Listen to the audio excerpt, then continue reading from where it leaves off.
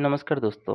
Video में देखेंगे Titan company के शेयर में 11 अगस्त के लिए क्या क्या नज़रिया बना के रखना चाहिए दोस्तों नोटिस कर सकते हो टाइटन कंपनी का डेली टाइम फ्रेम पे चार्ट लगा हुआ है। ओवरली स्टॉक आपको क्लियरली एक डाउन ट्रेंड में कंटिन्यू करता हुआ दिखाई दे रहा है। दोस्तों अगर देखेंगे स्टॉक यहाँ से आ, आज के ट्रेडिंग सेशन में एक परसेंट की तेज़ी दिखाया।